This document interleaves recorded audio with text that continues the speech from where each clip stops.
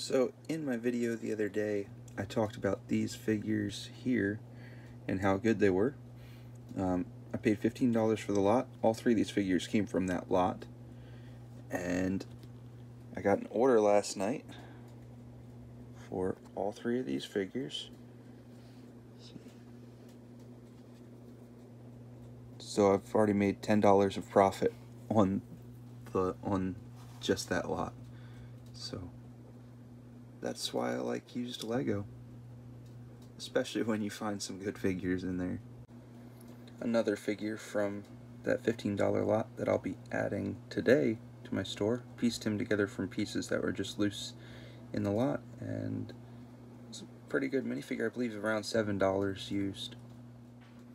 So here are a few of the other um, accessory pieces that were in that $15 Facebook lot nothing terribly exciting. Most of these pieces already have lots in my inventory for, so I can just go in and change the quantity. Some pieces, I don't think I have one of these green um, axe blades. I don't think I have any of those in my store currently. And yeah, there's some pieces. I'm going to spend the next couple minutes adding those. Um, I do believe, well, I found this piece here I know is not Lego. It doesn't say Lego on the inside there. And then this piece, it doesn't, I mean, these don't say like color seems off on this piece. And it just doesn't feel quite right. And you can see the end has a, a mold mark that's very white. Normally on the Lego pieces you don't see white. So I'm pretty sure this is fake and it just it doesn't feel right like it feels really weak when you try and flex it a little bit. This one feels a lot stronger. So yeah this just a little bit of how I would check to see if something's real or not. Also there's no comparison like putting it side by side by a piece you know is Lego. And I don't know if it's coming across on camera but you can see the difference in color there. So Yep, there's, that's definitely not a Lego piece. Alright, gonna pick this order too. So let's see, we got organizer B, drawer 5, or compartment 5. They ordered one piece in their order. And that's it right there.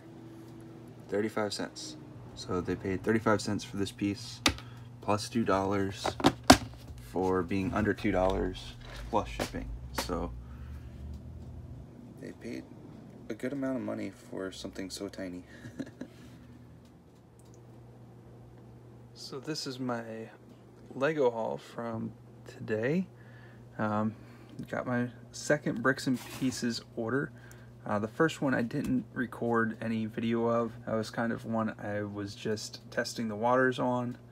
And I actually have the sheet here from that order. I went through and took the prices I paid for pieces and wrote them down on the side. Some of these pieces I just got for myself and put down the prices I paid versus what the average sold price or what price I'm going to try and sell them for on Bricklink and came up with my quote unquote part out value and so my total for that first order was going to be about 3.32 times. So not too bad. Pretty good. Um, some of those parts are interesting ones there. The second order, uh, I'm not sure exactly what the part out value is going to be. I know I got quite a few different pieces. I'm probably not going to show everything I got, but I figured I'd show a little bit of that. But first I got three of these sets from a uh, Walmart not too far away. I went out to a family dinner and stopped at Walmart on my way back home in Delaware and found these three sets. They were on clearance for uh, $17. I believe the part out value is around 60 so pretty good deal there. And uh, I'll try and get those parted out and in my store here shortly. Let's go ahead and take a look in this Lego box. I already opened this earlier I was telling my family about my Bricklink store a little bit. My uh, older brother and sister and their families and just talking to them. Uh, my nieces and nephews, my younger ones at least, were very, very interested in the pieces that I got. Some of the golden bananas in my uh, earlier video about parts and pieces. I showed some of these. These were the two cent parts. I ordered 200 of them. That's the maximum. Um, so you got a few different things in here. Got some dark turquoise bricks. Not the greatest price, I think. I think it's pretty good now, actually. I think they've actually gotten cheaper since I ordered these. But, um, of course, my store color is turquoise, so I got those. Uh, I got some candles. I think if you got those candlesticks there, I'm trying to get it, those candlesticks there kind of look like battleship pegs if you get the white. Um, some of these pieces, again, like that gold piece there, I just picked up because I wanted to have one for my own collection. Let's see if I can get this to focus. Got some of the red pumpkins, uh, some minifigure hair, of course the manta rays, some of the manta rays. I believe they were, let's see, I have the price over here the manta rays were uh, stingrays were oh stink. They were a dollar sixty a dollar seventy something I believe. And the average sold price is about three something on Bricklink so figured that was a pretty good deal. And then the minifigure trophies got those in a bunch of different colors. Um, got these window pieces from the Mickey and Minnie set. I really like that color and they were pretty cheap, so I went ahead and got those. And the other two cent piece, the shield tiles. I know that's not what they're actually called, but that's what I call them because they look like shields. And so I got those as well for two cents. I got 200 of them.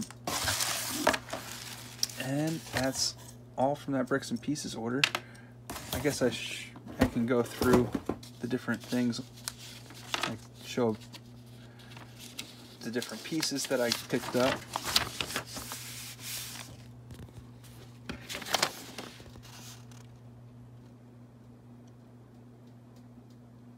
Okay, there's that. And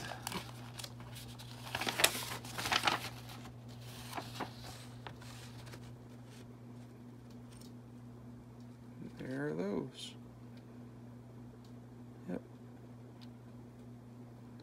And again, some of these pieces, I don't, I, am pretty sure I thought I had taken these off the order because you can kind of see that they're like 25, 20, 28 cents a piece. And wasn't really something I wanted to spend that much on, but yeah. Oh well. Alright. So there we go. And that's going to be it for this video. Until next time, y'all have a good one.